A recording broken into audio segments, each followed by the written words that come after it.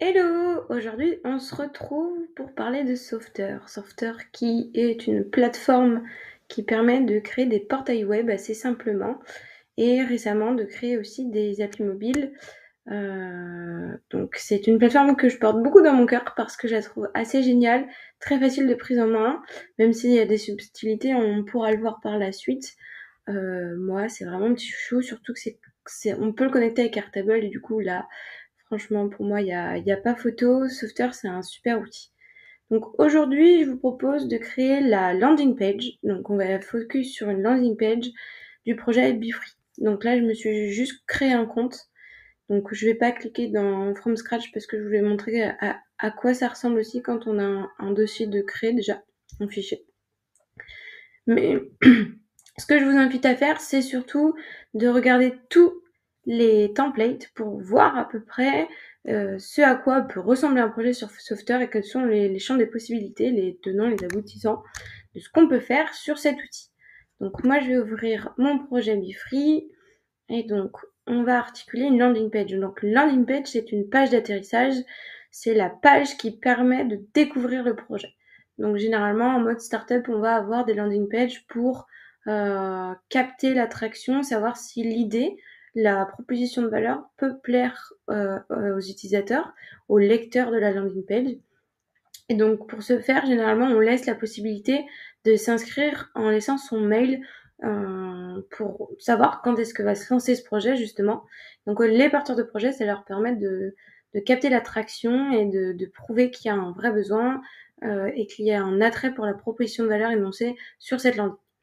Donc là, nous, euh, j'ai décidé de prendre le projet BeFree, donc il y a un projet que je porte en side project, qui est une plateforme de, une plateforme pour recenser les nids de frelons asiatiques.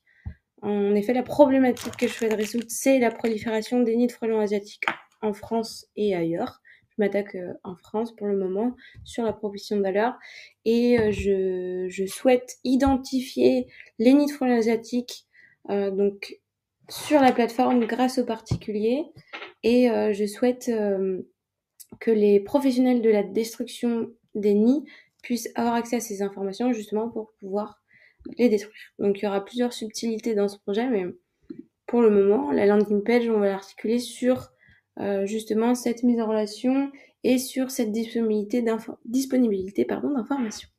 Donc euh, comment fonctionne Softer On va avoir des blocs, on va pousser à chaque fois des blocs. Vraiment, on va on, va construire tout le projet euh, avec des blocs comme ceci qu'on va venir pousser lorsqu'on va cliquer sur un plus, que ce soit ici au milieu ou enfin à droite.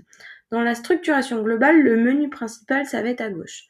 Donc du menu principal, je peux gérer les pages, créer de nouvelles pages. Donc ça va être les, les endroits où je peux circuler si je décide de faire euh, plus qu'une landing page, mais bien presque un site internet finalement. Le thème, donc c'est avec toute ma charte graphique. User, on en parlera plus tard, mais c'est pour gérer euh, la visibilité de ma plateforme. Et ensuite, dans les paramètres, je vais avoir tout ce qui est pour euh, le nom de domaine et, et beaucoup d'autres choses. Donc la connexion aussi aux outils notamment Airtable qu'on peut voir ici. Alors, je retourne dans ma page d'accueil et déjà on va essayer de construire ensemble la structure de la landing page. Donc, structure d'une landing page, on va avoir un hero, donc ici, qui va nous permettre dans un premier temps d'aborder la thématique de manière très succincte pour dire, OK, vous êtes ici, vous arrivez ici, on va parler de ça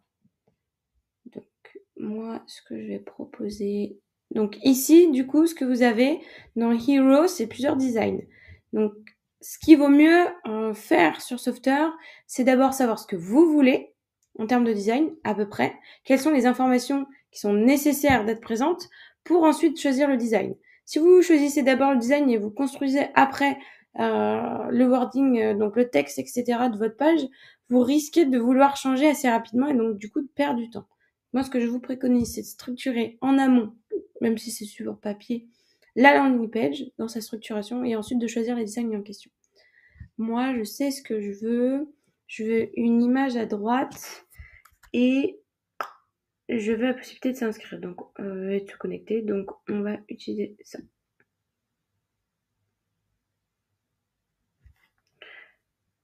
Ensuite, après le héros, ce qu'on va avoir, c'est généralement les avantages qu'il y a à, euh, à fonctionner avec l'outil que l'on présente ou avec la solution qu'on présente. Pourquoi est-ce qu'on fait mieux que les autres? Qu'est-ce qui peut être attendu sur notre plateforme? Donc moi généralement j'ai, euh, je prends le bloc feature. Ah non c'est pas celui-là alors c'est feature grid. Voilà c'est celui-là qui va nous permettre d'étudier les différents aspects de, de notre solution à travers différentes caractéristiques. Je garde ça comme ça. Là, en fait, ça va être mes avantages. Donc pourquoi la plateforme Bifree Qu'est-ce qu'elle permet? Donc on, va éradiquer, euh, grâce à Bifree, les nids asiatiques par exemple. Ensuite, ce qu'on va avoir. Moi, j'ai décidé d'attirer l'œil de l'utilisateur grâce un catalogue. Donc ça va être le catalogue de, de.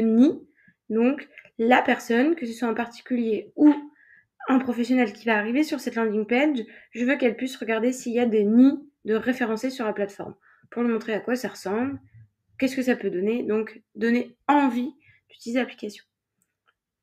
Euh, du coup, on va aller sur une liste. Ça va être un champ dynamique. Donc, dans les blocs, on va avoir deux choses différentes. On va avoir des statiques dont l'information n'évoluera pas et des dynamiques dont l'information peut évoluer. C'est-à-dire que l'on peut connecter, du coup, comme je vous le disais, Software avec Airtable. si je connecte Software avec Airtable, je peux avoir des données qui vont être dynamiques, qui vont arriver dans Airtable, qui vont être modifiées, que ce soit par moi-même ou par des champs formulaires. Et donc justement, ces informations qui bougent dans Airtable vont aussi pouvoir bouger sur votre interface web sur Software. C'est ultra intéressant. Euh, et moi, je veux une liste, une liste des nids. Donc, ce que je vais choisir comme liste, ça va être un design assez simple.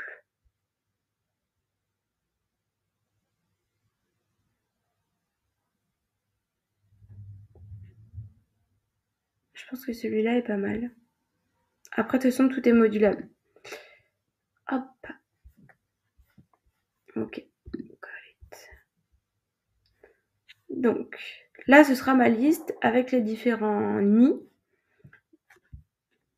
Ensuite, qu'est-ce que je vais mettre? Je vais mettre, je vais mettre aux heures. Je vais mettre juste une banderole pour mettre une grande image. Ça s'ajoute en dessous, là, quelque chose comme ça. Et j'ai envie de mettre les ambitions, les missions de l'entreprise. En ce sens, je vais essayer de trouver un bloc de texte. Mais pas celui-là, parce que il plaît un petit peu moins. Je pourrais aller, je pense, chercher dans le futur, peut-être sinon.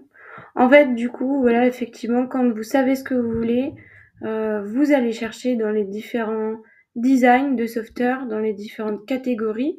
Et finalement, c'est pas parce que bah, on dit que c'est euh, feature grid que ça doit parler euh, de la euh, des différentes fonctionnalités de votre votre outil.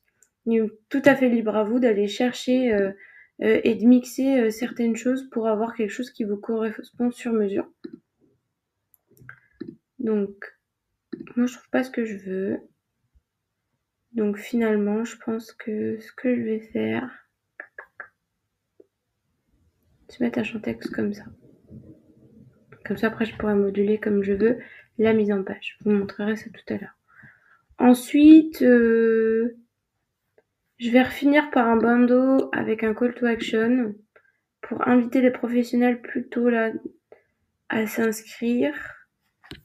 Donc, euh, je vais essayer celui-là. Ensuite, je vais Euh, mettre un petit mot du fondateur. Donc là, je vais intégrer une vidéo. Une vidéo, simple vidéo ici. Simple autoplay vidéo. Hmm, ici, simple vidéo. mot du fondateur. Et ensuite, qu'est-ce que j'ai euh, J'aurai un footer et un header. Effectivement, mais je pense qu'on est pas mal puisque du coup, si on résume, on explique ce qu'on fait, comment on le fait, donc qu'est-ce qu'on fait le mieux. Non, il manque le comment ça marche. Il me faudrait un comment ça marche. Et limite, il faudrait que le comment ça marche soit avant la liste des, des, nids. Donc, comment ça marche? Je crois qu'il y en avait avec des étapes. Ici. J'aime bien comment ça marche là parce qu'il est divisé en plusieurs étapes. Et euh, je trouve assez, bien, bien fait visuellement. Donc, si je résume, ce qu'on va avoir, c'est le hero pour parler de ce qu'on fait assez succinctement et pousser à l'action dès le début. On va avoir les avantages à travailler avec notre outil, comment ça marche, la liste des nids si on est directement intéressé pour cliquer pour voir, une petite pause visuelle. Ensuite là, je vais essayer de faire euh, euh, mission, vision, ambition. Et là, call to action, donc bouton d'action pour les professionnels, pour les inviter, eux, à s'inscrire aussi, encore une fois, puisque c'est eux qui vont nous intéresser aussi, parce que si on a beaucoup de nids référencés par des particuliers, on va aussi avoir besoin de professionnels pour détruire ces nids, puisque c'est quand même l'ambition de la plateforme. Et enfin, j'ai décidé de mettre une petite vidéo parce que, comme ça, je vais mettre une vidéo du fondateur de Bifree. Euh, ce que je peux faire, c'est mettre un header et un footer. Donc header, c'est que la tête de notre page et footer, ce sont les pieds. Donc le header. Moi, je l'imagine avec quand même plusieurs boutons. Donc le logo en haut à gauche, avec un bouton à droite, après quelques pages. Donc ce que je vais choisir, je vais choisir celui-là. Et ensuite, je vais choisir le footer en bas Comment j'imagine celui-là? J'imagine avec euh, euh, quelque chose de très simple, des boutons contacter, le logo. Je pense que celui-là est suffisant pour le moment. Ok. Donc là, nickel, j'ai toute la structuration de ma page et euh, je vais pouvoir m'atteler tout ce qui est design maintenant. Mais en tout cas, dans la structuration de la landing page, voilà ce qu'on peut faire avec Softer de manière très efficace voyez, j'ai pas mis beaucoup de temps à faire tout ça. Alors, en termes de design, qu'est-ce qu'on va pouvoir proposer? On va pouvoir proposer euh, un grand titre déjà pour signifier la proposition de valeur. Donc, qu'est-ce que souhaite faire Softer? Softer souhaite localiser et chasser les frelons nuisibles, en fait. Donc, je vais sélectionner mon bloc pour pouvoir changer le titre. Ici, on va avoir le grand title. Donc ici, je vais pouvoir alors modifier le titre et mettre localiser et chasser frelon nuisible. Ok. Dans mon wording, sinon, je vais expliquer après la grande, euh, le grand slogan finalement, après avoir expliqué ce qu'on fait exactement de manière percutante et impactante, du moins le plus possible, j'essaie de, de, de, décrire un tout petit peu plus la proposition de valeur. Donc là, je vais expliquer que Bifree, c'est une plateforme collaborative d'information, de recherche et de gestion des nids de frelons nuisibles. Donc ce texte-là, je l'avais déjà préparé en amont, comme je vous le disais, toujours mieux de savoir ce qu'on veut en avant. Donc là, j'ai travaillé ce texte-là. Et voilà, nickel, Et ensuite, je vais aller chercher une image. Donc, je vais cliquer sur Change. Euh, moi, j'ai déjà uploadé mes fichiers, mais vous pouvez faire Upload Asset. Et dans ce sens-là, vous pourrez aller chercher dans vos fichiers d'ordinateur les fichiers euh, photos que vous, souhaitez euh, uploader et le JPEG, ça, donc c'est JPEG PNG, je crois. donc, moi, j'ai le logo et des photos que je souhaite utiliser pour la page d'accueil, par exemple. Donc là, je vais faire Use Asset ça va me permettre de euh, sélectionner cette page, cette euh, photo pour euh, ce bloc. Donc là, j'ai quelque chose qui ressemble à, un truc pas trop, pas trop mal. Je vais cependant aller modifier le texte dans le bouton faire s'inscrire. Euh, pour le moment, je vais pas. Pour le moment, je vais pas donner d'action sur ce bouton-là. Je montrerai ça plus tard. Et je vais juste vous montrer euh, un petit peu donc comment s'articule le design après d'un bloc. Donc, euh, vous avez le design global qui se gère ici. Vous allez pouvoir cliquer sur la palette et modifier le design de ce bloc-ci. Donc, je vais avoir le padding qui va être l'espace qui va être en haut, padding top, padding bottom pour en bas, les bordures aussi, donc euh, pour séparer par exemple les blocs. Moi, je vais en mettre aucune. J'aime pas trop faire ça. Euh, mon image, je peux la positionner, mais moi, comme je vous l'ai dit tout à l'heure, ce que je voulais, c'était une photo à droite. Euh, donc, vous pouvez donc avoir la palette globale ici, mais sinon, vous avez aussi la palette plus spécifique pour chaque élément. Donc là, ça va être les éléments du titre, par exemple. Et euh, j'avais envie de modifier la, photo parce qu'en fait, finalement, dans ma charte graphique, je vais pas avoir de carré. Donc ce qui va être important, c'est de garder du coup de la cohérence graphique. Et pour cela, je vais essayer d'arrondir mon image pour avoir de la cohérence graphique avec mon bouton. Donc je vais mettre des bordures. Non, c'est pas ça. C'est roundness. Donc là, je vais augmenter en appuyant sur le plus l'arrondi de la photo jusqu'à ce que ça m'aille, jusqu'à ce que je trouve ça euh, ok. Bien sûr, je peux revenir en arrière. Euh, moi, j'aime pas trop ce que font Software avec le full. Je trouve qu'il passe quand même assez vite d'un arrondi à carrément un, losange. Comme mon point de vue, mais je vais garder celui-là du coup. J'aime bien. Donc voilà ce qu'on peut faire à peu près. On aurait pu modifier aussi le bouton. On aurait pu même en ajouter un. Donc si on pousse le truc un peu plus loin, on pourrait dire qu'il y a des gens qui sont déjà inscrits, qui veulent se connecter. Dans ce sens-là, on aurait pu modifier le design de se connecter euh, et faire l'inverse en fait. Mettre un tour euh, bleu là et euh, bah, je vais le faire comme ça. Je vais vous montrer à quoi je pense. Mais donc du coup, mettre ça en blanc mettre le texte en bleu. Donc mon texte. Maintenant, alors attends. Hop, le texte color, il est là. Je dois avoir une référence de mon bleu foncé, c'est ça, effectivement. Et tchouk tchouk tchouk. Il me faut le, le des bordures. Donc je vais aller chercher solide. Donc là, en fait, ça va être euh, si c'est des pointillés ou pas. Solide, du coup, c'est pas des pointillés, c'est une ligne continue. Et donc, je vais aller chercher mon bleu foncé. Voilà. Par exemple, on aurait pu faire ça. Vous avez bien vu que j'ai sélectionné là des couleurs, mais aussi il y a des typographiques sélectionnés euh, et de présélectionnés justement.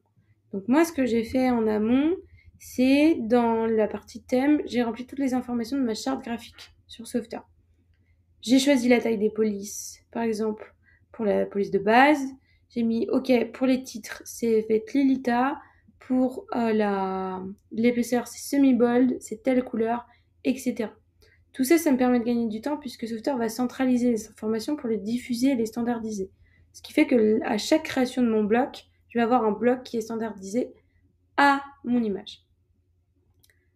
voilà. Donc vous pouvez mettre toutes vos couleurs et tous les paramètres les que vous souhaitez pour, que ce soit aligné avec votre charte graphique. Maintenant en jeu, ça va être le second bloc, c'est les avantages à travailler avec, avec Bifree. Pourquoi utiliser la plateforme Donc moi j'ai déjà ma baseline qui était de luttons collectivement pour la protection de la biodiversité. J'ai pas trop envie de mettre de sous-titres. Donc là, je vais pouvoir gérer les trois colonnes grâce à ces chiffres-là, 1, 2, 3. Si je veux les changer de position, j'ai juste à cliquer sur les flèches en question. Je peux en supprimer, je peux en ajouter. Je peux modifier les images. Donc là, moi, j'ai rajouté des images rondes pour pouvoir utiliser justement euh, cet espace-là. Parce qu'en fait, si elles sont carrées, les images, elles ne se modifieront pas. Par exemple, voilà. On n'a pas la possibilité de mettre roundness pour le moment ici. Et en fait, euh, je vous ai expliqué que moi, la seule chose que je veux, c'est euh, euh, d'expliquer quels sont les avantages finalement hein, pour, pour, pour l'utilisateur d'utiliser Bifree. Donc, j'ai pas nécessité à implémenter quelque chose de cliquable. Et ici, le template est les trois les, trois colonnes étaient cliquables. Donc moi, je vais supprimer juste ça. Et je vais aussi supprimer la troisième colonne, puisque en fait, je n'en veux que deux. Et je vais essayer d'aller récupérer... Parce que je crois que j'avais deux icônes rondes. La première, c'était ça. Et peut-être que la deuxième, c'était ça, alors. De toute façon, je n'en vois pas d'autres. Donc, je vais implémenter ça. Voilà. Donc, je vais dire que nous sommes là. C'est la première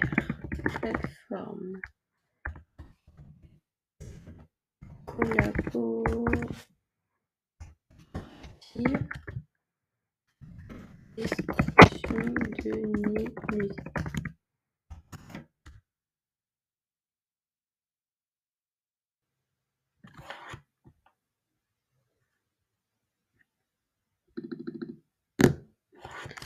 là, je vais mettre euh, une communauté.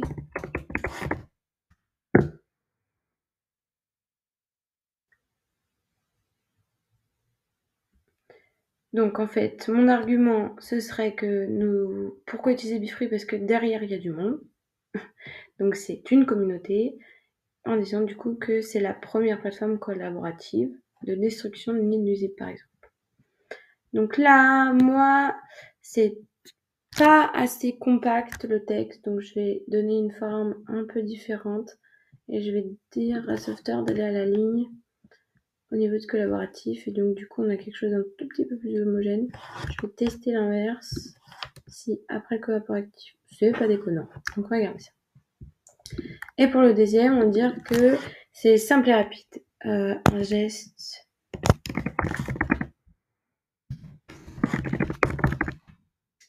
Donc,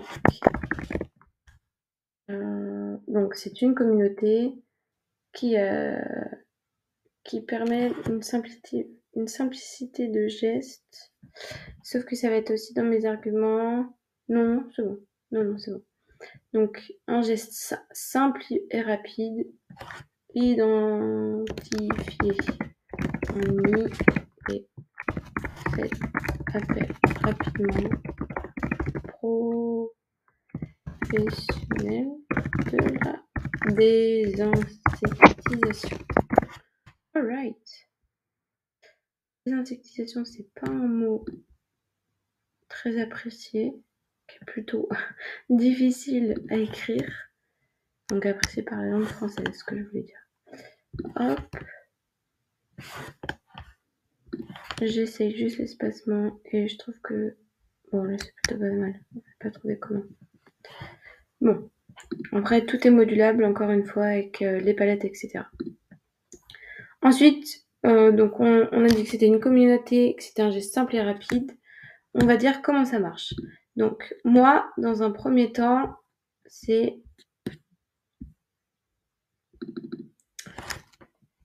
identifier un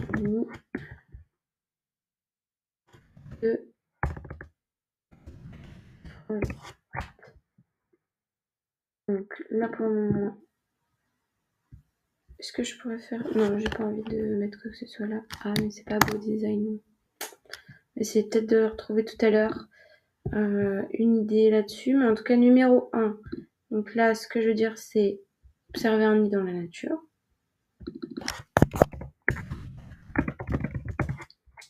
Alors, que ce soit lors d'une balade ou bien chez vous, vous être identifié. On peut faire quelque chose de beaucoup plus euh, encore plus poussé, mais pour le moment on va garder ça. Ici, est-ce que je peux capter les ronds? Je peux capter les ronds. Donc il me semble que moi j'avais deux XL. Comme ça. Sinon après ça fait tout Non, j'en avais 3, 4. Non, j'avais pas ça. Ok. Euh, size, on peut la diminuer parce que pour le coup, elle prenait quand même pas mal de place. Et je crois que le... Est-ce que le design de ça, on va le changer? Je pense qu'on peut mettre plus grand. Encore une fois, beaucoup de choses sont modulables. Hop, j'ai envie de mettre un peu plus grand. Ouais, pas mal. Euh, ensuite, au numéro 2, une fois qu'on a identifié un nid, on va localiser le sur la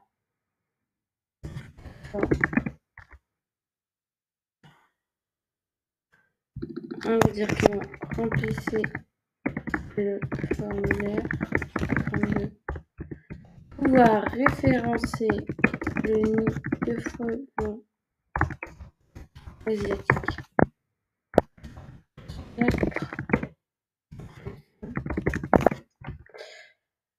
Et ensuite, ma troisième étape serait, soyez, mince, j'ai bien mis ça là?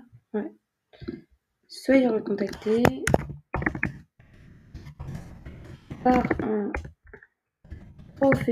professionnel de la désinsectisation. Enjoy.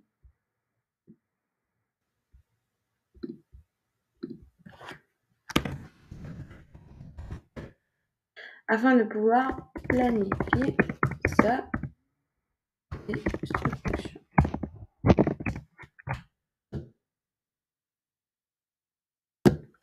Voilà, j'ai pas de quatrième étape, du coup je fais delete. Pour les images très lambda, je vais aller prendre les autres. Zoup, zoup. Et zoup. Donc après c'est que du design, il n'y a pas de... Là, il faut vraiment aller chercher dans votre charte graphique. Ici, je vais prendre le temps de le détailler plus tard parce que là, ce que je veux faire, c'est vraiment comment est-ce qu'on structure la landing page et comment on va aller faire euh, des choix euh, divers et variés pour alimenter une landing. Euh, Cela, j'aime bien pour ça. Je sais pas. Je sais plus trop pourquoi je voulais faire ça. Mettre une banderole comme ça. Ça est pas mal, sinon j'ai déjà mise. Et celle-ci. Je sais pas, c'est très nécessaire de mettre une banderole. Je trouvais ça sympa, mais ça va couper notre truc. Je pense qu'on va l'enlever. Là, j'avais dit que on allait mettre les ambitions et la vision de l'entreprise pour montrer quel était le but de la création de Bifree.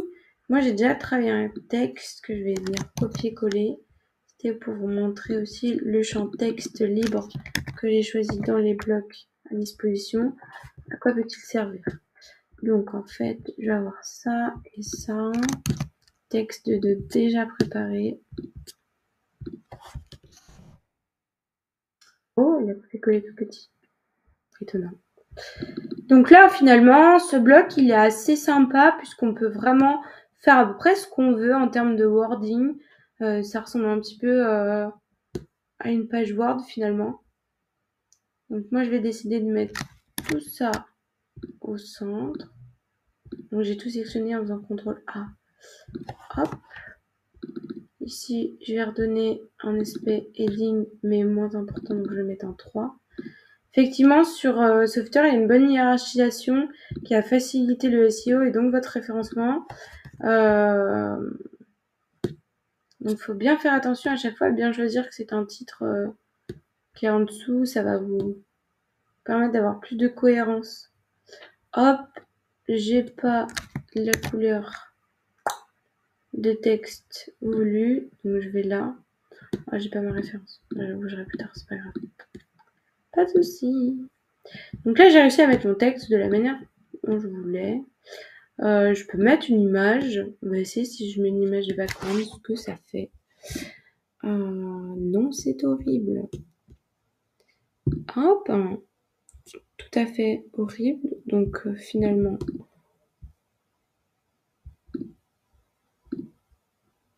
Oh non, c'est encore pire. C'est dommage si elle avait été à droite. Non, je suis là, je des bêtises. Donc j'arrête une bêtise et je continue. Là, j'ai dit qu'on allait refaire un bandeau pour euh, donner la visibilité à, cela, donc pour dire que c'est effectivement un bandeau. Je vais lui donner euh, une couleur Moi, j'aimerais bien la couleur de mon texte. Sauf que la référence... Voilà, elle est là, ma référence. Je fais CTRL-C. Je vais aller directement dans ma palette. Hop. Je vais aller gérer ici mon copier-coller qui va me donner mon bleu. Donc, à savoir que des fois, Softer, euh, effectivement, on l'a vu, je crois, tout à l'heure, dans une couleur. Ce pas ici. Voilà. Softer veut bien euh, gérer les couleurs de différentes manières. Ce qu'on a plutôt l'habitude d'avoir, en tout cas moi, ce que j'ai plutôt l'habitude de voir, c'est euh, ce format-là. Donc, il faut bouger les flèches pour avoir le, format avec lequel vous êtes plus à l'aise pour référencer votre couleur. Donc, moi, je continue mon bloc. Mon bloc euh, devait inviter des insectiseurs. Encore une fois, mon texte est déjà prêt. Donc, je vais juste le dupliquer.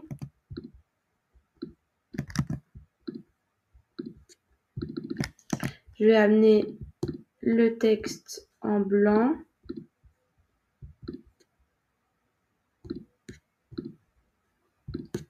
Comme ça. Je vais modifier le texte du bouton et je mets s'inscrire.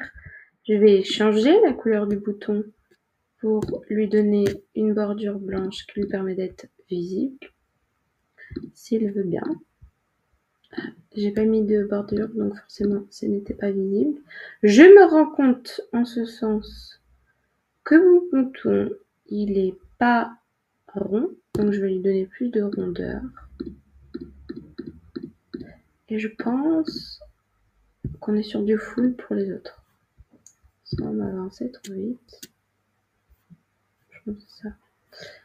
Alors, je vais leur donner la bonne couleur, du coup ce que j'ai dupliqué tout à l'heure. J'ai faire. Ah non, je veux pas. Ah, je crois qu'on a la pipette. Ça peut être intéressant de faire ça. Eh, La pipette, je clique dessus, je vais sélectionner la couleur que je veux et du coup la pipette me l'a sélectionné. Mais ça m'a pas du tout changé ma. Ça suis déçue. Est-ce qu'on est bon là? Mhm. J'ai pas l'impression d'avoir changé beaucoup de couleurs. Hein.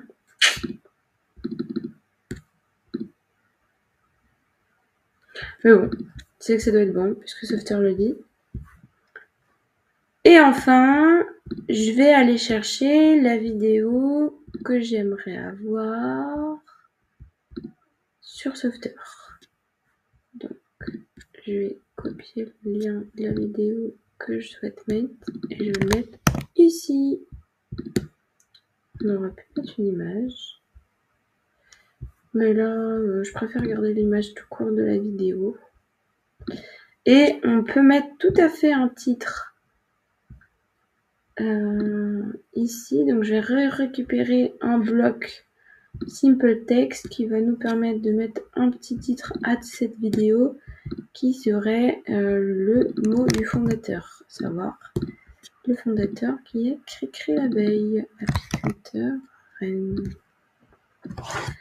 Hop Et eh ben on est pas mal. Ça me semble plutôt cohérent. On va utiliser notre pipette. Euh, si je veux gérer le padding, pour avoir quelque chose de, plus agréable ici, entre les deux blocs, puisque de, base, j'aimerais bien qu'il soit corrélé, puisque c'est le titre de la vidéo comme je vous le disais, il y a y a du padding. On peut jouer avec ce padding. Donc je vais aller l'enlever du côté du texte. Et là, on est quand même pas mal. Donc, au niveau du top, je vais pas faire grand chose. Là, je trouve que c'est pas mal. Ok, super. Donc là, du coup, euh, on a notre landing plutôt propre, même si elle n'était pas parfaite. J'ai pas encore fait le header, le footer. Euh, c'est normal puisque en fait, c'est dans la structuration euh, de la fin. Moi, je trouve qu'il faut le faire à la fin, le header, le footer, quand on a fini notre page. Donc c'est ce qu'on va faire la suite là. Et juste pour vous montrer, cet, cet outil Software, il est aussi génial puisque il nous fait euh, du responsive. Donc, on va avoir le format tablette et on va pouvoir voir en temps en heure ce que ça, ce que ça fait en fait, euh, ce qu'on arrive à avoir sur tous les différentes typologies d'écran. Ici, euh, donc si j'ai fini, par exemple, je fais publier pour publier mes et enregistrer mes mes changements et mes modifications. Si je veux voir ce que ça donne, je clique sur Preview. Preview va me permettre de voir ce que ça donne en ligne sur ma typologie d'écran à moi. Ok? Ce lien-là, vous pouvez cliquer dessus pour le partager et donc euh, ça vous permettra d'observer ce que ça donne sur Internet, votre outil.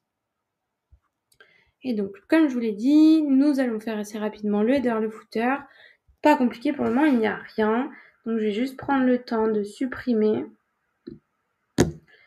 et euh, de dire juste voir la liste d'ennemis pour vous montrer qu'on peut faire une action, une action qui va directement scroller à une section. Donc une section c'est ça, c'est le titre là, donc c'est un bloc. Les titres, vous pouvez les modifier. Et moi, j'ai dit que... Ah non, je l'ai. Non, si, si, elle est là, liste.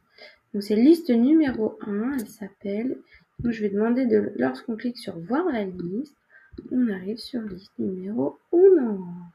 Donc home, c'est la page. Nous sommes bien sur la page home comme nous l'a vu dans page ici au tout début.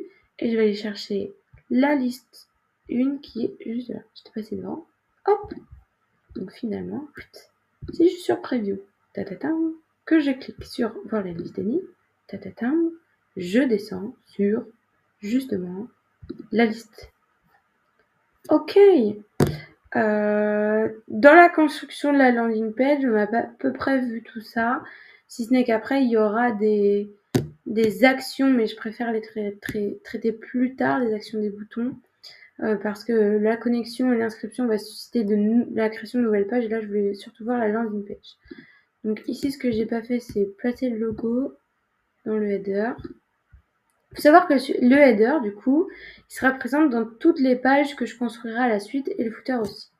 justement, en parlant de ce dernier, on peut aller dans son élaboration lui aussi. Euh, moi, pour l'instant, j'ai rien, donc je vais tout supprimer. Et à la limite, je vais mettre un contact, mais même pas, parce que qu'est-ce que j'aurais pu mettre? J'aurais pu mettre un open external URL. Il me semble que c'est email de petit point. Et si je mets mon email à moi, ça va pouvoir ouvrir. Là, je mets l'email du porteur de projet. Ça va pouvoir ouvrir directement une boîte mail. Sauf erreur de ma part. Je vais faire preview. Et justement, on va pouvoir voir ça.